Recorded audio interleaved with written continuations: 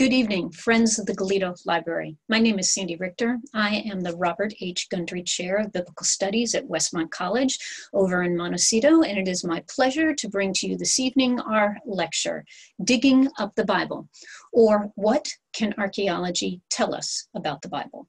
I myself have been involved with archaeology since 1992 when I took my first Syro Palestinian archaeology course, and in 1994 when I went to excavate for the first time under the luminary uh, Lawrence Stager of Harvard University. I was a graduate student doing my PhD in Hebrew Bible at the Near Eastern Languages and Civilizations Department, and excavating an ancient Philistine city was important to my training. Since that time, I've taken scores of students overseas to do the same. We've excavated at Tel Zayit, Tel Rehov, Tel Dan, and in each of these educational endeavors, I've had the same ambition to answer that question what is it that archaeology can tell us about the Bible? And that's what we're up to this evening. Now, before we launch, uh, I'd like to say right off the bat that at every Christmas, Passover, Easter, we will be deluged with documentaries that announce uh, a never before seen evidence has demonstrated that Jesus never existed, or never before uncovered data demonstrates that Jews were never in Egypt. Let me say that these global claims regarding what archaeology can do for the Bible are a bit unrealistic. And so, as a biblical scholar and as someone who's spent more than one summer with dirt caked into every crevice of my body, I would like to explore with you that question. What exactly can archaeology do in the course of biblical studies. I am coming to you via Zoom, as is everyone else, so I am about to share my slides with you and see if we can get this show on the road.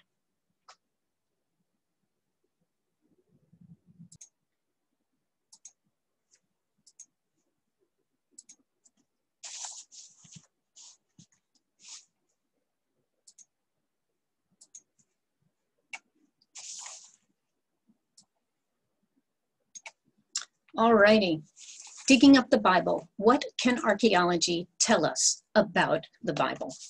So the first question, what archaeology can do? Archaeology first is able to recreate the milieu, get us past the Great Barrier, and move us toward the real people and real places of the biblical text. This is archaeology's primary contribution to the study of the biblical text every once in a while, archaeology can also play the tool of the apologist, meaning the person who is in the process of defending the historicity of the text itself. So every once in a while, archaeology shows up and proves some biblical event or person historical and contradicts what is known in my discipline as the hermeneutic of suspicion.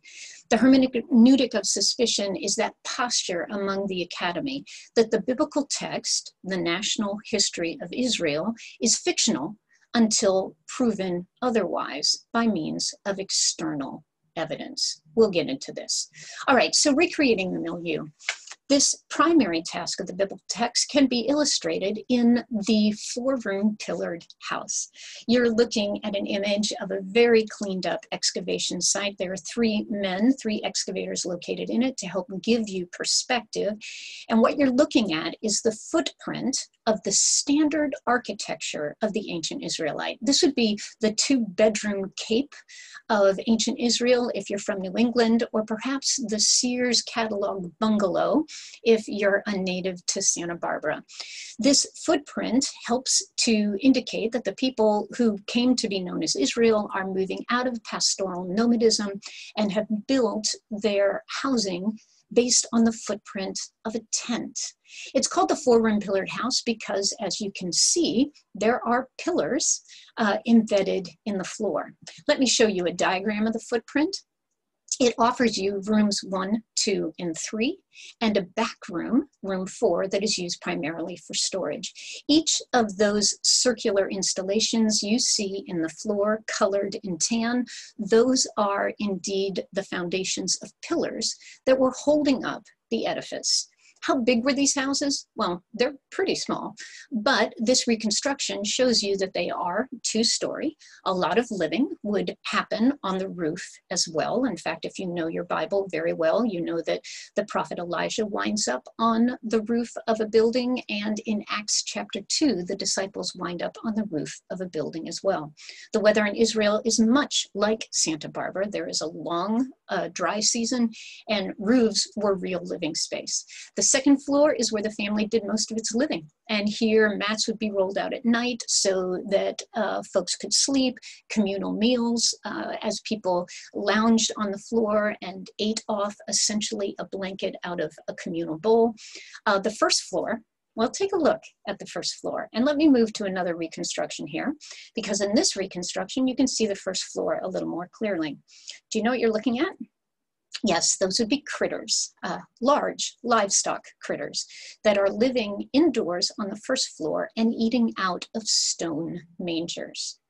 But for those of you out there who celebrate Christmas, when you pull out your nativity scenes this December, uh, they are probably going to have little wooden mangers. And on top of that, the idea is going to be kind of like a Pennsylvania dairy barn down the street from the actual inn where Mary and Joseph were trying to find housing. Well, if Larry Stager is correct, and I think he probably is, that first century scene with Joseph and Mary and the not yet born Jesus took place on the first floor of a four room pillared house where they do indeed keep animals, not all their animals, but animals that are fragile for one reason or another, animals that have just given birth, are just about to give birth, or being fattened up for um, some sort of coming holiday. One of the reasons we know they're animals on the first floor is because the cobbling. As you look at this diagram, you can see that underneath the donkey and the cow, there's actual cobblestone, which allows the animal's to pass through the stones and seep into the soil without becoming a muddy, disgusting mess. And those stone uh, eating troughs. I can show you dozens of those from Megiddo where there were horse stables, uh, which were housing livestock as well. So although we in Santa Barbara are very attached to our pets, and some of you have dozens of them, uh, very few of you would think about bringing a cow or a donkey or a sheep or a goat into the house. But the Israelites did, and part of it was protection and another aspect of it is these animals actually provided central heat for the house as well. So, this sort of reconstruction helps us to see the Israelites in real space and time. We get to see them as real people who lived real lives. And as we move into the New Testament, we get to see a story like Mary and Joseph uh, expanded via the actual milieu of their lives. And I can hear Joseph pounding on the door, speaking to the innkeeper, saying, There's no room in this tiny little two bit town, and my wife is about to give birth. I've helped bring calves into the world, I've helped bring lambs into the world, but I've never helped bring a human into the world. Help me out. And I can hear the innkeeper saying, Dude, I am so sorry. I have got nothing to offer you on the second floor. The roof is absolutely maxed out every inch of property I have has been filled up by this federally required uh, mandate of a census. But I, I, do, I do have a stall back in the back corner. It's empty. Uh, at least it's dry, it's warm, it's private. My wife will be nearby if things go wrong. Sorry, that, that's all I can offer. These sorts of images help us to get back into the real space in time of the ancient characters in the biblical text. Another interesting detail about this architectural feature, you're looking at a map right now, a map of Syria, Palestine, um, uh, ancient Israel, and right here, highlighted on your slide, is the central hill country of Israel. And lo and behold, whereas you would never find a four room pillared house in this central hill country at the beginning of the late Bronze Age, let's say about 1550 BC, by the time you move into the Iron One period, about 1200 BC, there are hundreds of these little four room pillared houses popping up all over the hill country. So just like in Santa Barbara, when you see tiled roofs and stucco walls, you see the influence of Spanish culture. And when you see the track houses out in Goleta, you see the influence of 1950s American culture. What you're seeing is that architecture helps us track people groups, and it helps us understand immigrations and recognize them. In 1200 BC, the people who we will come to know as Israel immigrate into the land, and they bring a, a unique architecture with them.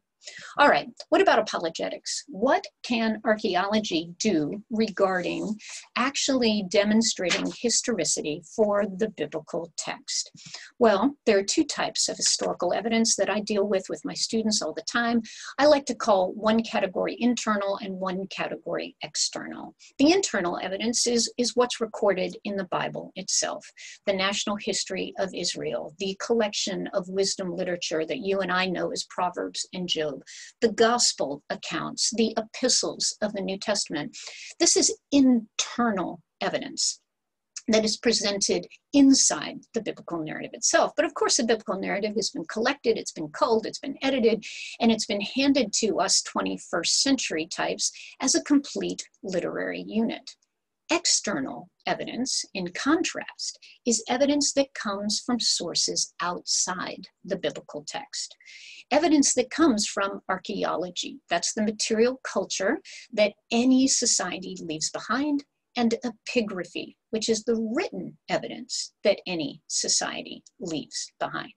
And returning to that idea of the hermeneutic of suspicion, in my field, typically the internal evidence, that being the written biblical evidence, is questionable because it has been culled and uh, canonized and uh, edited for future generations, whereas the external evidence, uh, people have often a little more confidence in that.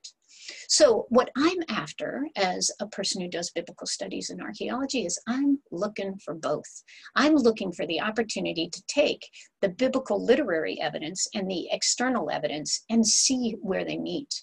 And when those points connect, being able to say, okay, I have found this particular institution, this particular event, or this particular person that is represented in the biblical text.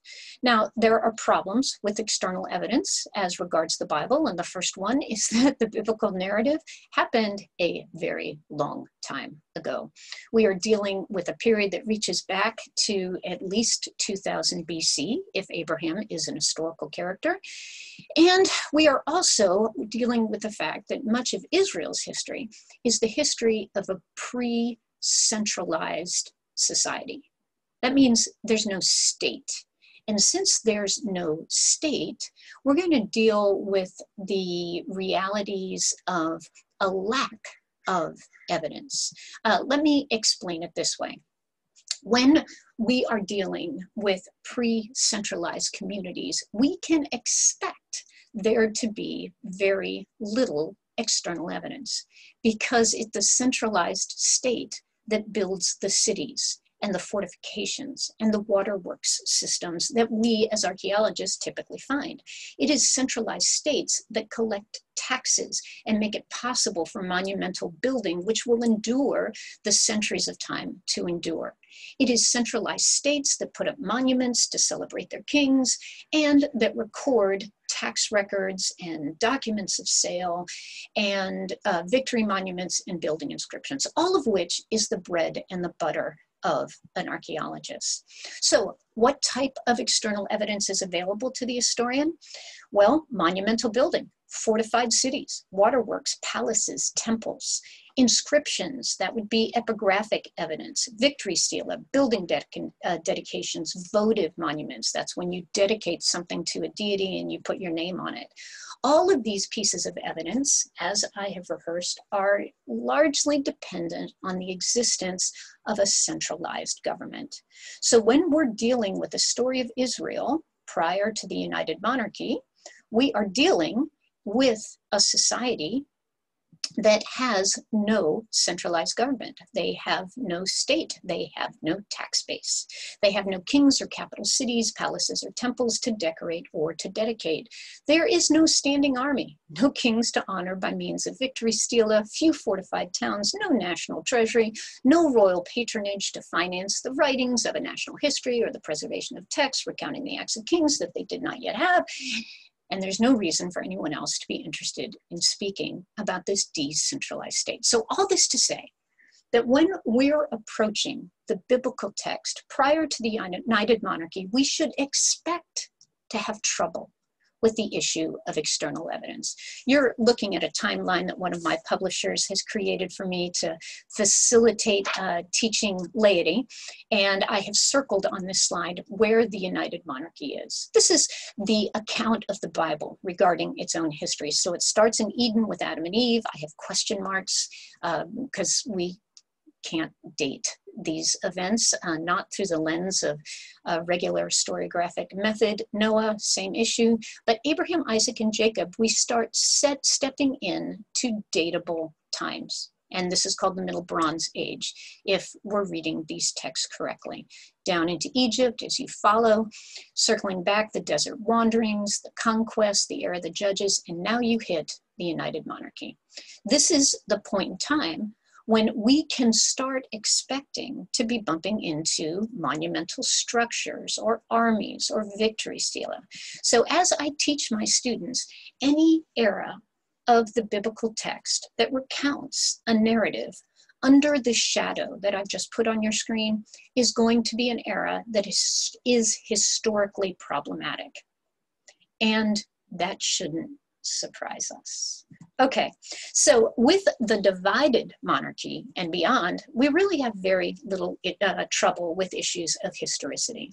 There is a plethora of external evidence of Israel's existence from the divided monarchy on. Now, we certainly cannot qualify every detail of the biblical text, but we've got at least a dozen of her kings named in inscriptions and monuments. We've got stamp seals, we've got contracts. Uh, we've got data. Uh, so there remains only a small but very vocal minority of biblical scholars who dare to suggest that Israel did not exist after 932 922 BC, which is when the divided monarchy launches. Now, whether or not Israel existed differently than the internal narrative recounts is, is another set of, of questions. But the fact that she existed, this really isn't up for debate, not among uh, the historical and archaeological crowd.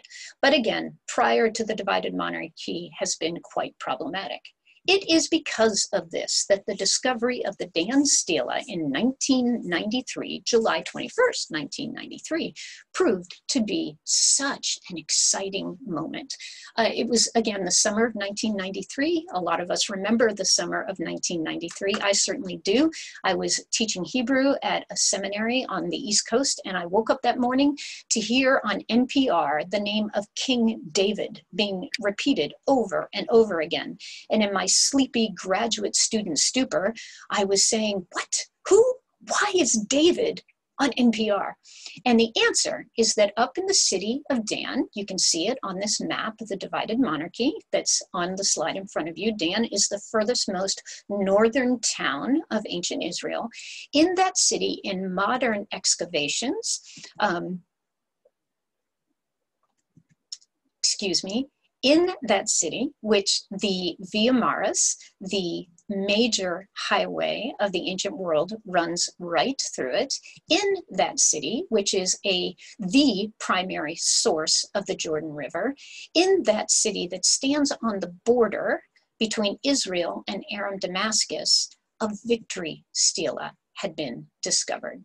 Um, when I talk about water, by the way, in Israel, you should anticipate that water, rushing cold, fresh water, is as rare in Israel as it is in Santa Barbara.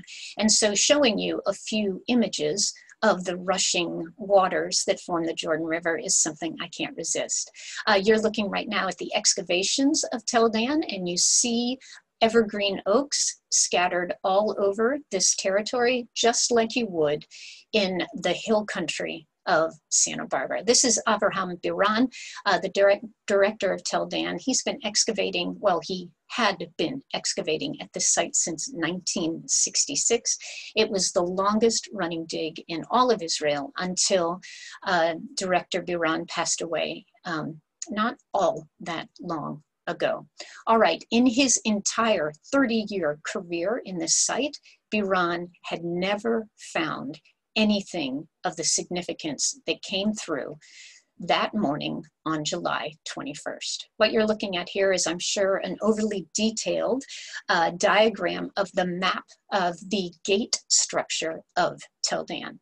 Uh, the news is that gates are often augmented and expanded in order to protect a city. So in this particular gate structure, you have the upper gate, the paved walkway, the inner gate, another outer gate, and an entrance into the gated city. At the bottom of the slide, look at the red oval because it is in that red oval that this particular discovery was found. So the entire gate complex had been excavated, and on this July day, Biran's staff caught glinting in the sun a piece of monumental epigraphy, uh, an event of events.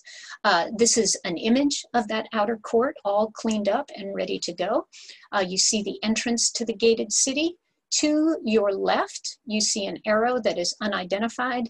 That arrow is where the Dan Stela was discovered in 1993. These are some of my past students uh, walking up through this courtyard. Here's one student who decided she was going to be a deity for the day in uh, entryway number two. And here's my excavation team back in 2006 as we're working with this site as well. Okay, what did they find?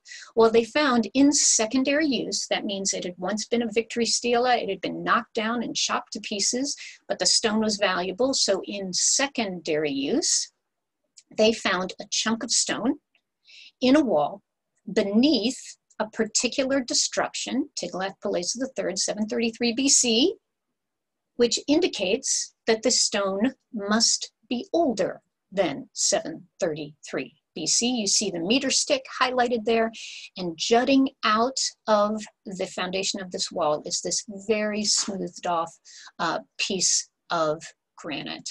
And as it was pulled out, you see that the victory stela uh, that they had found uh, was actually commemorating the victory of an Aramean king over Israel and Judah. In other words, it was a foreign army celebrating the fact that they had just defeated Judah. As you look at that script, that is classic pre exilic script, very readable, obviously coming from a professional. Now we want to know what does it say? Yeah? And here it is all cleaned up and ready to go. And as you look right here, if your pre exilic Hebrew script is strong, what you're reading is Beit David, clear as a crystal. Beit David. And for all you Jewish listeners who got through Hebrew school, you're recognizing those words. The Beit David communicates the house of David. Hmm. So, not just the structure of his home, but in the ancient world, a Beit is a dynasty. And so, what this Aramean king is bragging about in his victory stela is he has just defeated the dynasty of David. Can I tell you that prior to July 21st, 1993, David was considered as historical as Arthur of Camelot. But after this discovery, David became a real historical character. Because right here, and this is the drawing of this particular inscription, our Aramean king, who is no friend to Israel, is bragging about the fact that he has taken out David's dynasty. And the date of this particular inscription, about 850 BC. That puts the writer of this inscription closer to David than you and I are to Abraham Lincoln. Now, can we derive from this a, a, bunch of details about David's life? No, but we certainly can derive from this that he existed, that he was recognized as a king of a dynasty, so much so that a foreign king would brag about defeating him. All right, so that is a very fun moment when archaeology served the tool of the apologist. Let's look at a few more things. Uh, the high place at Dan is also just a really interesting discovery. Um, in 1 Kings 12, chapter 25, we read about the first king of the divided monarchy in the north. His name is Jeroboam.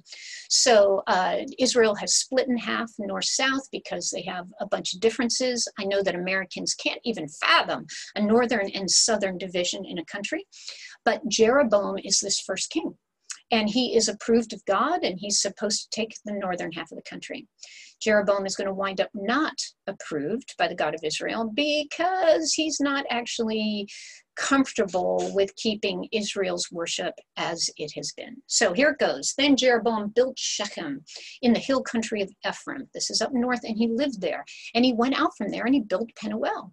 Jeroboam said in his heart, Now the kingdom will return to the house of David if this people continue to go and offer sacrifices in the house of the Lord in Jerusalem. In other words, the temple uh, that has been dedicated and built in Jerusalem. Then the heart of this people will return to their Lord, even to Rehoboam, king of Judah, and they will kill me, and they will return to Rehoboam, king of Judah. So the king consulted, and he made two golden calves. And he said to them, to the people, It is too much for you to go up to Jerusalem.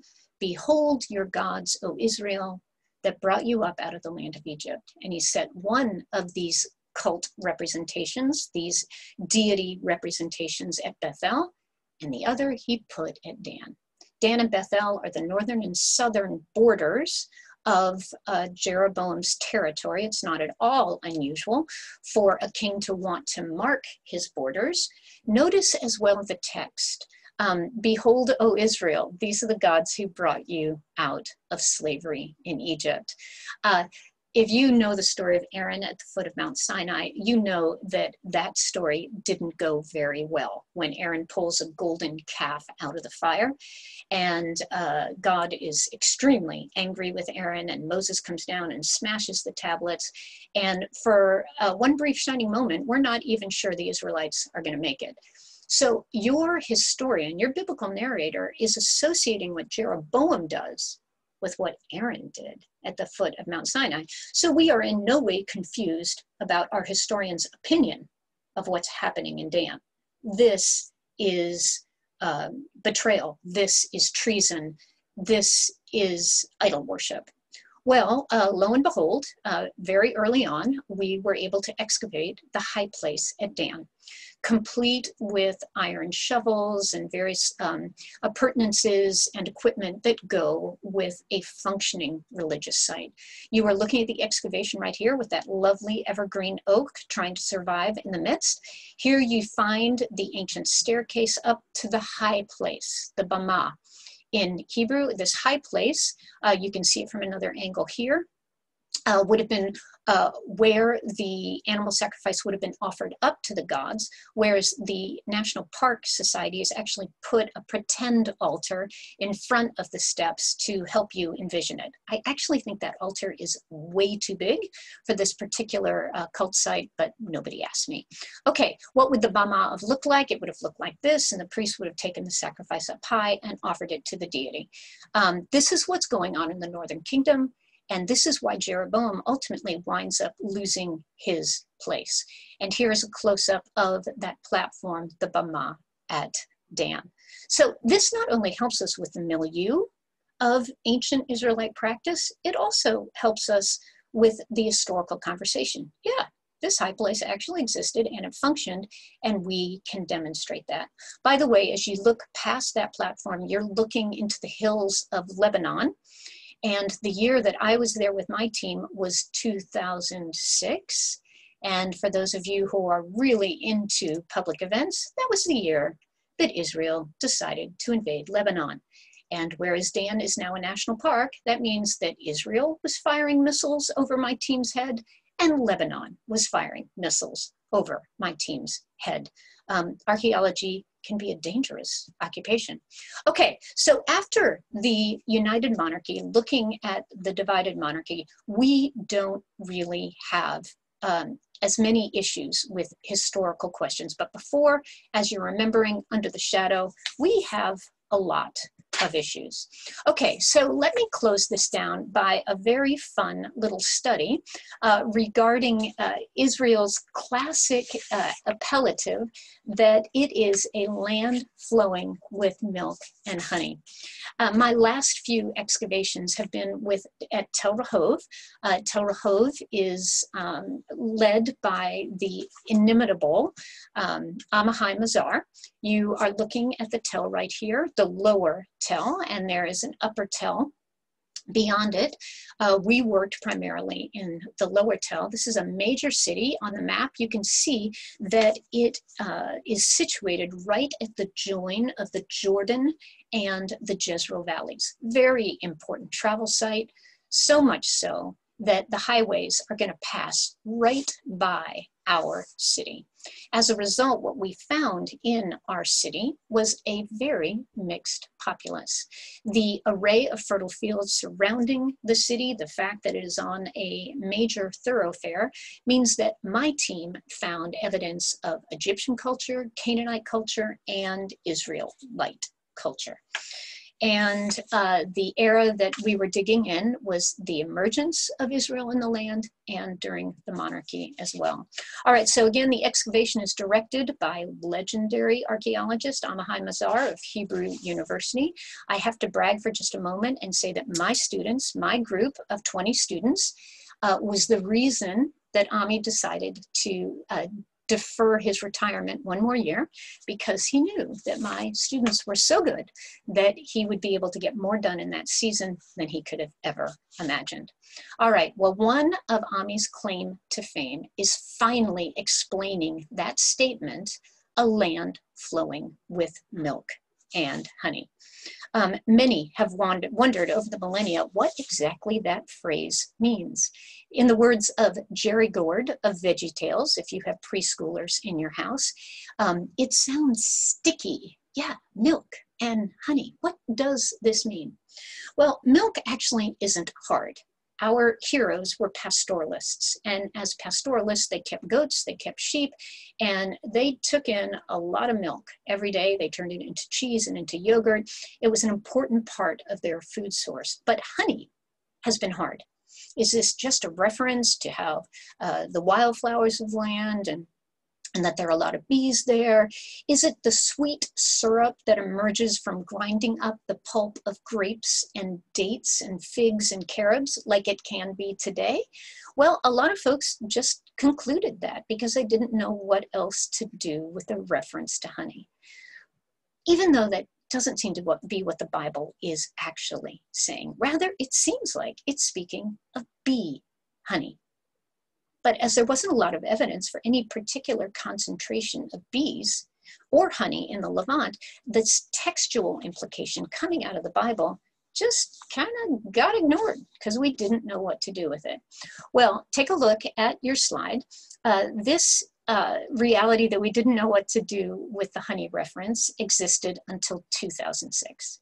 And in 2006, AMI superintended the discovery of an industrial sized apiary at Tel Rehov. Apiary means um, a bee facility. Uh, industrial sized in Area C in the Iron II age. That means the divided monarchy. Now, although the hives shown here um, might not look like much to you because they are just mud in the midst of more mud, um, and the average excavator possibly could have just plunged through all of this data with an, an ill-fated pickaxe. Ami is not your average excavator. And what he recognized here is an industry that is still indigenous in the land of Palestine today. This particular apiary was located right in the heart of the city. Uh, as you look at this diagram, you can see it reconstructed right in the heart of the city where it apparently operated for decades.